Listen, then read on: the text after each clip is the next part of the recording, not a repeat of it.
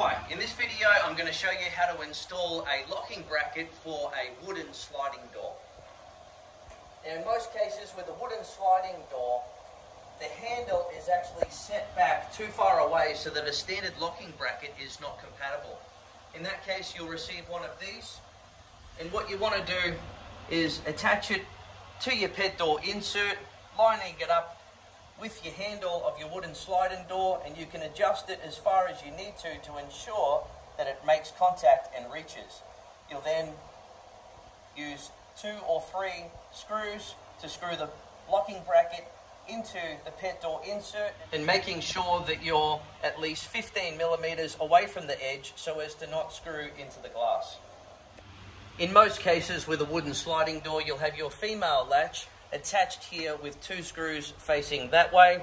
You want to then remove that latch by undoing the screws, screw it onto here, onto the wooden sliding door locking bracket, and line it up with your wooden sliding door.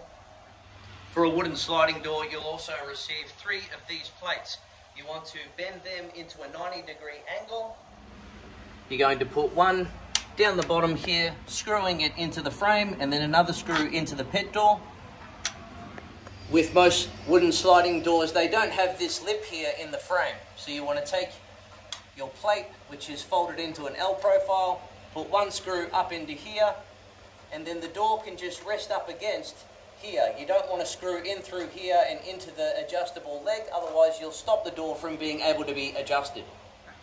Lastly, you want to take your third plate and you want to screw it in here through the existing hole from the female latch and into your pet door insert, ensuring that you do not put the screw too close to the glass, making sure that you're 15 millimeters away from the edge.